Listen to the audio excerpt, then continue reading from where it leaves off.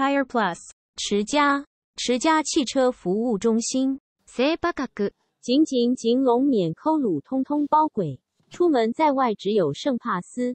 Good night, Good night。百灵桥烟水是不是最近二手车不要买？我跟你讲，好、讲到这个，我就知道一定有人问，要买二手车要快买，你知道吗？因为泡水车要修 修好卖出来没那么快，现在要快买，趁它还没修好。没有啦，那个我跟你讲，其实那个比例算少的啦。你看哦，这一次好像比较严重是中永和那个永和那边嘛，跟百灵桥嘛，其实加起来没几台啊，不超过一百台，而且再加上一些本来就撑着该报废还没报废的哦，就趁着淹水就报废掉了，所以其实数量很少啦，真的要流出来，我觉得第一。你要买到运气也很好啦，对不对？几万台的二手车在市场上流动，就那一百台，几率没那么高啦。几万台的一百台呢？嘿，跟他丢乐透嘞！你领金杯杯有泡醉耶，那个运气很好才会买到啦。泡水车二手车商会收吗？会啊。我跟你讲哦，那个以前就这样，以前比较会淹水的时候有没有？你就会看哦，隔天那个灾区就会出现一些人哦，穿着西装裤，然后那个 BB 扣或是大哥大插在腰间，哦，钥匙都挂在腰间的那种。然后背一个卡棒，里面都现金，就现场直接喊价，你知道吗？好、他看到那个车主啊，门打开，最都捞出来，看到自己的爱车这种惨状，有没有？哎、阿头哥，哇，你应该就严重的呢，啊，卖修理啊，是我给你买买，好、换我这，现场就喊价，三万五万。喊好现金掏出来，合约写一写，拖吊车都在旁边等了，直接就拖走哦。现场喊喊好价钱，嘿，卡棒来这东坑现金的啊，直接现金，我现金给你买买啦。哦，要槟榔日。哎、哎，头家，哎、看哦，要求哦，卖修理也袂好啦，啊，迄边修理也袂好啦，来啦，看偌济画画呀，哇，要求啊，你看，哎呦，来这个吴国语呢，嘿，三万好无？三万无好，哎、咱讲赞诶，迄比保费较好价啊，你迄保费存无两万万几箍尔呢，哈，无三万五啊，三万五莫讲啊，哎、我要将来处理经理嘛，足久诶。啊，今天啊，阿公赚也袂开迄落啦，三万五啦。哦，好啦好啦，现金嘛，我有大钱，现金直接处理啊。啊，现场就直接喊了啊。那很久没有了，好几年没有碰到淹水了，真的、那个现场喊一喊，然后拖吊车都在旁边等了。哎、阿文啊，三万五讲好啊，你也拖出去，拖进去去，哇，直接就拖走了。那差别就是在于他回去哈、修到什么程度。好、一般来讲，像有人讲的，有的是要他的大牌啊、拿来贴权力车啊，哦，或是拿来干嘛？有的不修了，他只要资料而已嘛。啊，第二个就是拿来超贷嘛，对不对？搞不好市价还有二三十万啊，啊，我买三万五啊，回去整理到啦勉强能开啊，他可以贷个三十万这样啊，超贷啊。他会计算呐、会去计算说修理划不划算呐、因为我知道泡水车今天一定会有人问，哦，顺便跟大家分享一下啦。刚好那个淹水隔天哦，那个不知道东升还是三立新闻台有打给我，有问我嘛。其实泡水车很多人以为那个记者跟我在讲电话的时候，他就他就以为啊，所谓的灭顶是整个灭掉就叫灭顶。可是我跟你讲哦，其实只要淹超过排挡座上方就算灭顶，这一般人不太晓得，因为真的很多年没有淹水了啦。其实只要淹超过乙座，也就是你的排挡杆上方，就算全灭了。你知道为什么吗？因为基本上车顶没有什么零件，所有的零件都在你的车的门框或腰线以下，包含引擎、变速箱、行车电脑、变速箱电脑，所有的恒温空调的面板，呃，你的电动椅的电脑，那个叫做车载电脑，全部都在排挡杆以下。所以基本上只要淹到排挡杆，就算全灭了。不是一般人以为要应该触电可以再做灭顶，好不好？然后呢，淹水那一天记者又问我，顺便就在这边跟大家分享，好不好？泡水有分大约哈，约略分三个程度。上次有人贴给我，从门的门框进水进去，地毯湿掉啊，或者是地毯稍微淹起来，比如说三公分，基本上那个还严格说起来还不算是泡水，因为其实如果除非有些车在地毯里面，好，它的电脑在地毯下面。但是那是很旧款的车，因为现在新款的车电脑都移到引擎室了。如果比较旧款的车呢，它的电脑还有可能在你的驾驶座椅子下方，或是副驾驶座椅子下方。好，所以基本上如果从门槛稍微水跑进去，我觉得那个还不能算是泡水。像有一些我遇过啊，窗户忘记关，天窗忘记关，结果下雨，下了一个晚上，雨下整夜，哇，我的爱溢出哦，好，稍微地毯湿掉三公分以内，我觉得那个还严格不算泡水啦。再来第二个程度就是超过地毯的高度，到了座椅约略你的座椅的高度，那基本上算泡一半，二分之一泡。二分之一泡为什么？因为可能你如果淹到座椅的位置啊，你了不起一些行车电脑、变速箱可能稍微有泡到水。那基建的东西我觉得不是重点，泡水最严重的事情是在电路板、电脑。比如说你是在淹到座椅的高度，其实都还没有到你恒温空调的那个控制面板，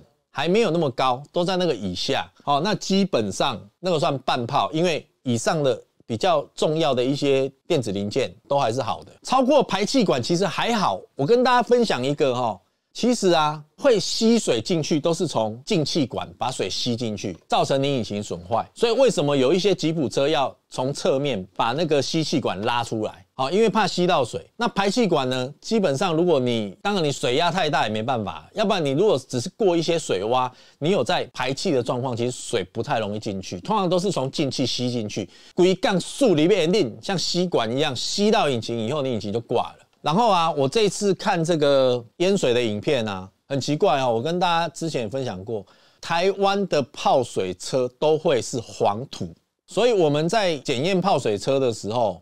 都在找有没有黄土残留的痕迹，用这个来去判断说它是不是泡水车。当然有很少数的清水的，那立丰斋其实那时候有清水的。呃，那时候到某一个大楼的地下室，他们就是清水，水是干净的。我跟你讲，那个水干净的才可怕。为什么？因为它修好之后，甚至连车商都看不出来，因为它没有黄土，你很难找得出泡水痕迹。如果它整理过之后，西米子清水，你很难找得到泡水的痕迹。其实那个就比较可怕。不过大部分有九成绝对都是黄土水。你去看那个福和桥，那应该是福和桥的吧？或是百灵桥，你去看那个水都是黄色，脏脏的。黄水只要一退干掉以后，所有的土。都附着在它经过的地方，它会像粘土一样粘在上面，而且你用清水洗洗不掉，你要用牙刷慢慢的刷才刷得掉。那不可能有人用牙刷慢慢刷，因为太多地方要刷了。所以黄土是一个征兆啦，就是我们在判定车子有没有泡水一个很重要的依据。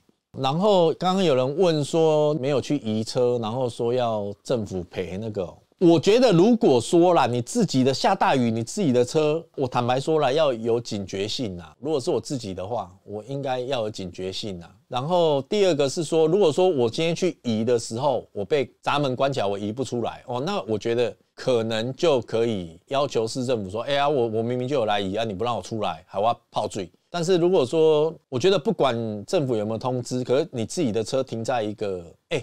其实这一次的雨连下这么多天，如果你真的稍微有一点点想到你的车，你应该都会想说要不要关心一下它吧。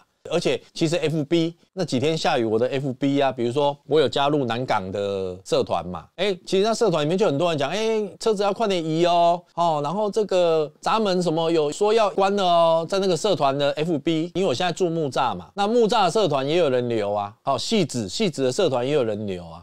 所以其实我觉得应该自己的车还是要有一点警觉心呐。其实都有人在提醒啊，我不知道，也许有些车主忙还是什么了。但是我觉得自己的车还是要自己挂心一下吧，要注意一下自己的东西啊。因为我们对于这个是比较敏锐的啊，因为我们车行我们拥有的车真的多，所以每到台风哈或是连日豪雨，我自己都会比较关心，注意一下状况。那因为我们现在所在的位置其实地势比较高，好，所以还好，就是。已经经过好几次的台风啊，豪雨，我们这边是 OK 的。哎，你不要说我关不关心呐，我那两天我就收到好多讯息。哎，小四哥，听说你们细直淹水，你的车要不要紧啊？小四哥，你们那边雨下很大，怎么样？怎么样？要不要紧？其实就很多人传讯息给我了呢，IG 啊。F B 啊，哦赖啦，很多客人也都会传给我们，所以其实我想要不关心都不行。我先跟大家讲一件事，好不好？你们不要被那个农场文骗了。之前有一个农场文说定金的定是哪个定很重要，其实差不多意思啦。你知道不？这是五黑的判决先例可循的，主要是说你做这件事情签合约给钱，你有没有买这个东西的一个意愿？那个定跟那个定。有人在说，哎，那个定跟那个定不一样哦。金价不，那个其实没有差啦，真的，那个真的没有差。不要被农场文那个了。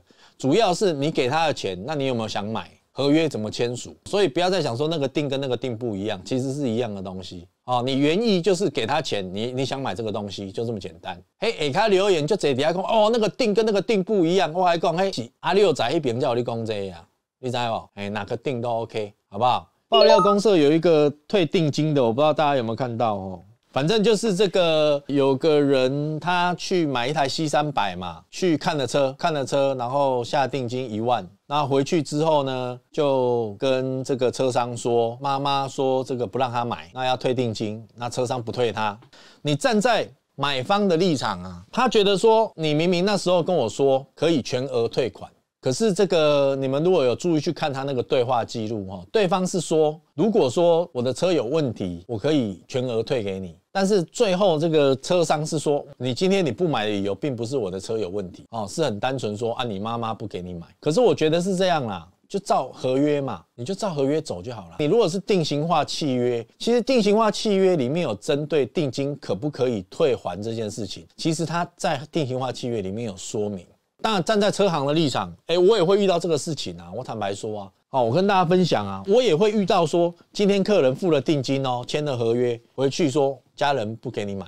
坦白话，像这一次这个案件的车商就觉得说，哎，你妈妈也看过照片的，你也来看过车试过车，满意你才买的，对不对？然后你妈妈还来杀价，哦，这是车商那边说的啦。啊，你妈妈也知道你要买这个车，你现在又搬出妈妈来说你要退定金，啊，我怎么能接受？哦，站在车上的立场，他是这样讲的啊。我们也常遇到这个状况啊。今天签约，晚上就反悔啊。今天签约，隔天反悔啊。我遇到这个是家常便饭。还有卖车卖完后悔的啊，车都留了，然后这个定金也给，还帮他清了贷款。他说：“哎，我储的工，我还我卖啊呢，啊，我也是给你卖等来。啊，很简单啊，我都讲啊，我定金给你十万嘛，啊，合约上面是写赔双倍嘛，啊，不然你赔我二十万，我车还你啊，你钱还我。”哦啊，这个才是合约的效力嘛。讲实在话啦，我讲一个良心话了，我可能跟他拿二十嘛，我也拿不下去了。我讲实在话了，我跟他扣二十啊，车还他，他卖我车哦，然后反悔不卖哦。啊，他说如果要赔我二十万，车要拿回去，我也不敢拿，但叫亏钱。A 不啊？A 不？有可能不？空手夺白刃啊，一来一回赚二十这样，不是？可是合约精神就是这样啊。如果照合约走就是这样啊。好看合约怎么写嘛？我觉得是不用在那边讲说，哎，他不退我，他有答应要退我，还是这个怎么样怎么样？我是觉得就照合约就好了。那对于来跟我买车的客人，难道没有反悔过？有，很常遇到，还蛮多，真的蛮多的。当然，我们定金也没有收一万块这么少了。不退定金可以拍级上法院。我跟你讲，不退定金上法院不会输啦。啊，合约就写要罚双倍了，我没再多跟你要一万，不错了呢。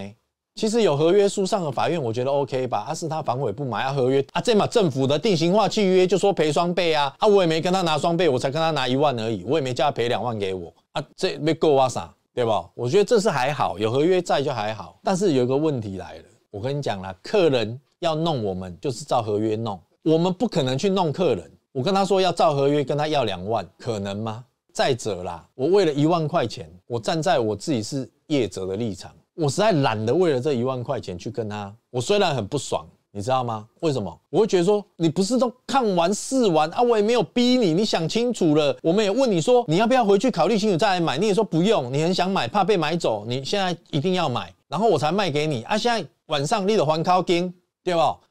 我们这些服务人员跟你在那边弄弄弄弄瞎弄一个下午，那是没关系，你不买回家考虑也 OK。可是你就说要买了，为了你，其他的客人都推掉了啊，我也会很不爽啊。可是问题，我为了这一万块钱哦，让他去留我负评啊，让他去爆料公社爆料我，对不？我何必呢？有时候真的，我跟你讲，消费者都很讲感觉问题。消费者说，哎，那感觉问题啦，感觉对了哦，不要说一万三万给你，我也没关系呀。那感觉从来没对过啦。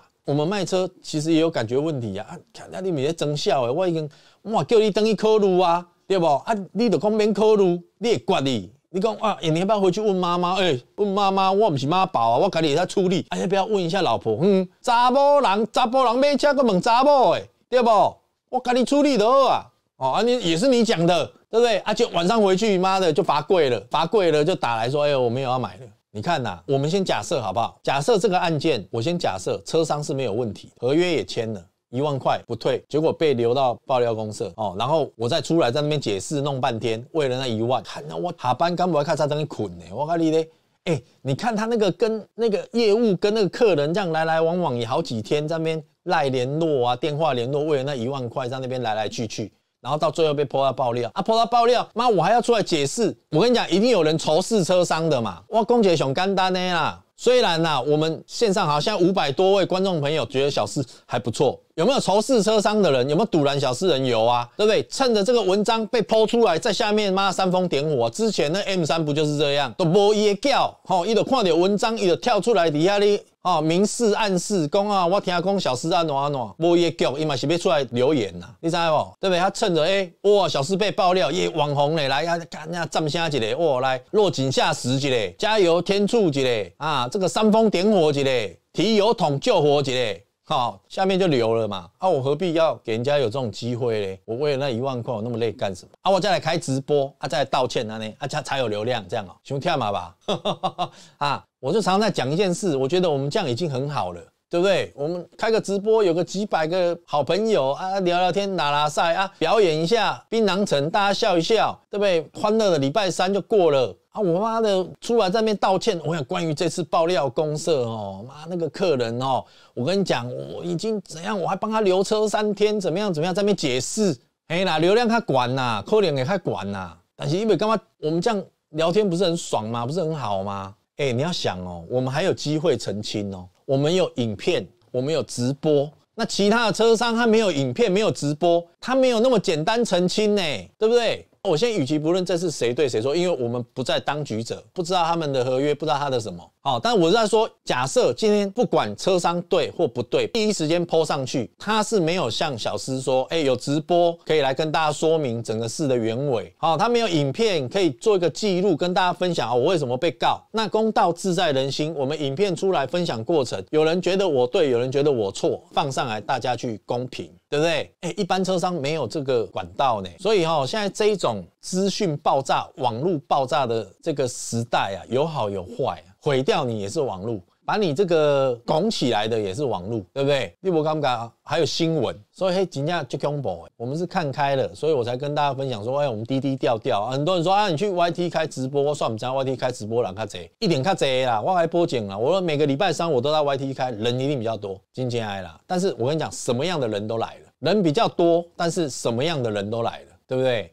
哎，就忝美啊，我我底下刷留言啊，有管黑啊，有私黑。啊，我那 YT 亏钱的私黑拢来啊，私黑啊！我从很久以前就看开这件事情，就是跟消费者的利益发生冲突的时候，也不要说我们是比较弱势的那一方了，就是我们就是尽量啊，能够退一步海阔天空啊，我们就退。客人太过分，我们也是不行的。我觉得大家好来好去，对不对？你今天你真的有某一些苦衷啊，你订了车哦，然后你不能买了，那好好的讲啊，你哪要讲价讲美书，跟他哦，我应该欠你的，我嘛没动你啊。你知影意思无？哦，好像哎呀，你不爱退我，我跟你讲啦，我都跟你输赢啊，我绝对跟你告的。嗯，我钱比你较少，我都跟你过。呃，大家都有一股气嘛。啊，如果大家好啊，因为这个哪一些原因啊，家里这个妈妈怎么太太怎么说，家庭革命上，我们也不好意思啊，我们也是烂爬蛋嘞，对不对？好了，啊就退一步。你知影意思无？啊，你若要冲到敢若应该，我不爱退你，要要要安怎？要安怎？我无无看要安怎？试看卖啊！我看你我都安怎？为了几万块、两万块、三万块，我看你也当安怎？哎，我要看看这一万、两万、三万可以逼出你什么潜能来，对不对？哦，我就觉得大家好来好去，哎呀，小师我你粉丝哦，不好意思啊，看这么久了，好不容易定了，家里发生这个事情，怎么样怎么样啊？大家来讲那要紧，今天啦，我外人就能心没啦，大家好来好去，没啦，不是吃软不吃硬，我相信每个人都是这样，不要觉得人家是应该的嘛。今天人家不管做什么行业都没有应该的这件事情，大家都是为了生活在打拼啊，对不对？我们也是啊，不是吗？啊，你也是啊，你好不容易打拼才有机会来买车，对不对？何必弄得鸡毛鸭血哦？没有意思，好不好？刚刚在直播前哈，有一个网友传了一个，也跟大家分享一下，好不好？好，他主要是说谢谢我们，谢谢小司哈，拍影片教大家如何面对二手车商的话术了哈。他说他们今天去看一台车。我就不要讲他去哪里看哦。一开始是本来看那个广告是卖二十万呢，到现场去变成说是什么权力车啦，吼，说这台不要买啊，买隔壁的同年份的要四十万呢，哦，然后一直鼓吹，一直用很多半推半就的话术，后来他们就赶快跑了，哦，然后就传个讯息来谢谢我这样。有时候我们拍这影片，不知道挡到人家财路哦，也是很麻烦。可是我我还是换一个角度想哦，消费者还是要多做做功课啦。可能他的二十万别人都卖三四十啊，你看到那个二十万去就，我觉得坦白说，你们应该自己心里也有一个底啊。大家都卖三四十的东西，他开价二十，你们还去看，那我觉得消费者你们自己也要稍微的注意一下，因为现在有太多的网站可以让你查到车子真实的价格。不要说真实啦，至少这个上下幅度不会超过五万嘛。以国产车来讲，我举个例啊，像我有时候我会上这个 SUM 的网站。为什么哈？我会去看他们什么车、什么年份、什么车、什么配备，大部分都卖多少钱？我可以跟大家讲，SUM 至少它网站上面的价格是确实的。我目前知道是确实的啦，所以我有时候我也会去参考那边。我如果想要知道一台车市面上都卖多少钱，我都会上去看一下全台湾的同款车他们都卖多少钱，来做一个参考。我大概拢甲我讲，我的车伤贵，什么小四的车叫贵啥？你大追加嘞！我去查别人都卖比我贵，阿龙你讲小四贵，我讲看啊，讲到最后我自己都怀疑我自己了，我自己都怀疑我自己了，我还要去寻一下其他人怎么卖的，妈省得被你们骗。你不要看消费者会唬我，你卖公车商会唬消费者，消费者也会唬我啊。大台话讲小四你伤贵，你看真的假？查一下哪有？我搁做遐济代志，啊，搁每个人差不多，我哪比人较贵，对不？啊！你来照你安尼讲起来啦，对不？我以后我就写一本保护书，赶快红字黑字写好清楚。我听好未必较俗，保护一年来手册拿去，结果坏掉回来，哎，歹势这无，哎，这嘛无，这自费，这嘛自费，拢自费的好啊。嗯，我都保够三年，我嘛甲你保，对不？如果要照自己妈的写的那个保护手册，我保护三年就 OK 啊，真正啊，那未歹的物件拢保护三年啊，会歹的拢无保固的啊，就简单的。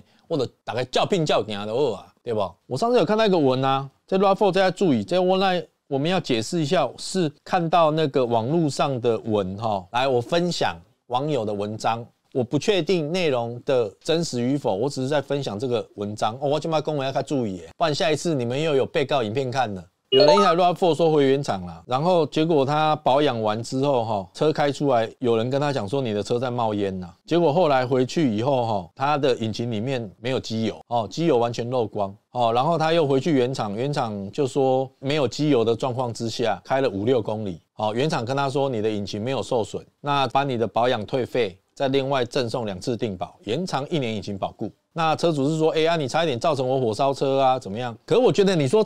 差一点造成火烧车，我来讲哈，我们也常遇到客人这样，他都用一个没有发生的事情来跟你讲，你知道吗？曾经就有客人回来讲说，哎，我去你的修理厂修车，结果你的修理厂外线式的哈，把我的车丢在一个这个很像荒废的一个停车的地方啊，万一我的车因为停在那边被干了，我的车因为停在那边被敲破玻璃了，怎么办啊？我就会想说，万一啊，可是现在就没有啊。好，你对于说我们的外场好没有把你的车好好的放在一个室内，或者是停车位，或者是好好的保护你的爱车这件事情，我们感到很抱歉。可能这个保修厂我会再跟他沟通，请他尽量不要这样做。事实到现在就是他没有玻璃没破，也没被干东西，都没发生。所以因为我自己做服务业哦，我听到客人说万一的时候，我都会觉得说啊，问题就是现在就没有啊啊，你跟我讲万一，我我我该怎么？补偿你的万一呢？你啥意思不？你现在跟我讲完话，万一回去觉得心情不愉快、胸闷、死掉了怎么办？你要怎么负责？好，所以像这个也是，他说你这次你卸油螺丝没帮我锁好，万一火烧车怎么办？可是问题闹一码一码，你知哦？你不为一码闹就是没有嘛。要讲万一这个事情是有一点点空泛呐，好不好？你们会这样觉得吗？哦，空万一啊，就是就事论事。现在车子这样，哦啊，它现在造成什么样的状况？那我觉得就现在的状况来讲，这个事件呢，我觉得唯一比较难界定的就是引擎有没有受损，对不对？引擎有没有受损？就这件事情来就事论事嘛。修理厂跟他说没受损，可是他觉得说一台车没有机油，开了五六公里也冒烟了。那你跟我说引擎没受损，我不能接受。那这个我我就觉得是就事论事。好，那现在我们就把问题 focus 在引擎到底你怎么说它没受损，或者是说我是车主，我要来证明引擎受损了，我要你原厂赔我，我觉得 OK 吧？我觉得从这个现在的状况下去判别，哈，当然我不知道后来这个是怎么样了，我是跟大家分享这个文章，好不好？哦，反正就是他可能卸油螺丝没有锁好，然后就车主保养完，车主就冒烟，引擎那个机油漏光了。原厂就说，哎，赔他保养，保养不收钱，哦，啊，赔他两次定保，怎么样？那车主不能接受，那我觉得接下来就是去证明，哎，这嘛就神奇，哦，漏光前机油灯应该要亮才对，这第一个。那第二个，其实因为这个事件就是原厂的保养，所以我觉得应该去找，比如说这个汽车工会啊，哦，有一些汽车工会啊去做鉴定嘛，那可以鉴定啊，气缸有没有受损，那个有的用内视镜，搞不好就看得到了。我觉得这个车主可以去试着证明这个部分如果今天这件事情发生在我身上啊，我很简单，我就是会去请，比如说这个修理工会、汽修工会等等，哦，来证明说，哦，来证明说我的气缸确实受损。我一定按那个 R A 啊，我嘛尴尬讲，哎，无乌油塞五六公里，我不相信没受伤，我是这样觉得啦，我是觉得应该有受伤。好，但你要鉴定嘛，不是我们说受伤就受伤啊，对不对？试着去鉴定看看嘛，好不好啊？这个是一个，也是一个论坛的文章，跟大家分享啊。哎，这分享哦，这不是我讲的哦。哎，我点来跟您讲这案例，会不会人家都已经和解完了？然后我他妈的，我公亲变事主，现在很多小车后保杆都没内铁，这样有安全疑虑吗？我坦白话讲，我不觉得内铁是对于车身结构很重要的一个部分哦。其实很多人哈，我跟大家分享哦，大家千万不要再觉得说钢板的厚跟薄。我有时候哦拍到一些车，他们砰砰砰砰砰砰砰砰扣扣扣，有没有？那个是一个节目效果。其实我们心里很清楚哈，你现在已经不能再用开关门的声音啊，钢板的厚度啊，有没有内铁啊？去当做一个车子安全的一个基准啊，因为现在的车子有很多的龙形结构，它有很多的溃缩的装置，板件的强度也不一样哦。再来一个，它的溃缩是怎么设计的？有可能头尾溃缩之后，它的龙形是完整的；有可能它的钣金很薄，但是呢，它里面的钢梁很粗。好，所以不要再用那个钢板的厚度。跟有没有内铁去觉得说这个车子是安全不安全？我觉得这个未必是准确的啦。然后呢，这个我衍生出一个问题，最近呢哈会有消费者来问说，小师哥，请问一下内铁换过到底算不算事故？哈，那我跟大家分享，我我的回答是不一定会影响，因为现在很多车甚至它的保杆都没有内铁，所以内铁已经被视为一个可以更换的东西，因为内铁原本就是螺丝，四个螺丝八个螺丝拆开内铁就换了。好，有时候你换保杆呐，你不小心屁股被顶到一下，车头顶到一下，你可能要换内内铁，稍微有凹进去，你可能要换一支新的内铁，螺丝锁一锁，哦，就锁上去。所以我跟大家分享过，一个车子上面有做螺丝的地方，基本上它属于对于结构影响比较没有那么大的东西，它才会做螺丝啊。哦，所以其实现在前叶子板的更换的影响就没有那么大了，但是车侧的门。好，可能影响就会稍大，因为这块板件，我跟你讲，你看大小片嘛，越大片的板件，其实影响是越大的。还有一个就是没有螺丝的影响是最大，你要用切烧焊的那个影响才是最大的。那至于有螺丝，基本上都不会被列为重大的事故。你包含大梁，它是没有螺丝的，两根直挺挺的在那边，不可能换大梁。前面凹掉了，要么就切掉接一节，哦，要么就是拉直喷漆，哦，所以像大梁那种没有办法用螺丝去拆卸更换换新的东西，基本上那个影响才是最大的。好，所以我觉得内铁对于车身残值硬要瞄的话，当然有影响啊。如果今天站在车行的立场，呃，内铁换过，有得扣一定要扣啊，对不对？好，站在车上的立场一定是这样，但是其实你说影响有没有那么大？其实以现在来讲，我觉得啦，我自己在估车，我觉得内铁的影响比较没有那么大，因为甚至我也遇过一些车内铁生锈，内铁生锈，我以前也我也有这样做过啊。回来我们的验车验车完，工作人员报告，哎，这台车内铁有生锈，那就换新的，我就把内铁换掉，那有事故吗？没有啊，对不对？没有事故是因为它生锈，把它换新的。那你要说那台车事故吗？内铁换过事故。哎，我是怕你生锈，我危险嘛？因为生锈强度就更低啊，生锈也不好看。我要卖人家一台车，小师你卖我一台车，内铁怎么生锈成这样？也不能看啊。所以内铁我觉得其实还好。它主要内铁会影响什么？因为内铁跟大梁锁在一起，比如说这个是大梁，这个是内铁锁在一起。可是有时候你的撞击，因为你的内铁被撞到了哦，所以一挤，你的大梁其实这边有稍微被挤到，这个就有算事故了。但是如果单纯只是内铁凹掉、拆开换一支内铁来，其实我觉得还好。有时候我们在讲里面有一些保利龙什么，那个其实都节目效果。很多车里面保险杆里面都有保利龙那其实它那个是保利龙，不是在防安全，它是在防震动，或者是要撑住那个保杆。哦，所以那个保利龙其实不是偷工减料，你知道吗？有些有内铁也会有保利龙，它是防止那个你的保险杆塑料跟你的内铁震动有敲击，好，或者是说保杆太软了，你需要一个保利龙去撑住它塑形，好，所以那不是偷工减料，不要看到保利龙，呃，怎么会有车在用保利龙？不是哦，那是有效用的。马自达前挡玻璃被弹到石头，怕更换玻璃会有密合度的问题，是不是能补就补，不要换？前挡玻璃的话，除非它做的很丑哦。前挡玻璃也是要看店家，那有些真的会做的蛮丑的。那漏水，我是觉得有机会，所以我建议，如果要做这个换前挡玻璃这个事情，还是要找专业的厂商来做。好，然后再来一个就是这个，你说前挡被石头弹到玻璃，还是要看你那个洞大小跟深度。如果有穿到里面来了，那补可能。只能延缓它继续裂开的机会了哦。那看如果是小小 cap 一个凹痕，那补的我觉得没什么问题。主要是实力控没打好，它不是会漏水哦。第一个实力控没打好，漏水机会是比较少。可是因为它实力控打的那个秋楼的问题，有可能实力控跟钣金的接缝会干注意力在哦，有水分会停留。你如果细力康没有打好。水分停留在上面，久而久之，你那边就会生锈，生锈就会锈穿，锈穿水就跑进去。哦，所以是主要是那个实力控有没有打好，打实力控的技术很重要。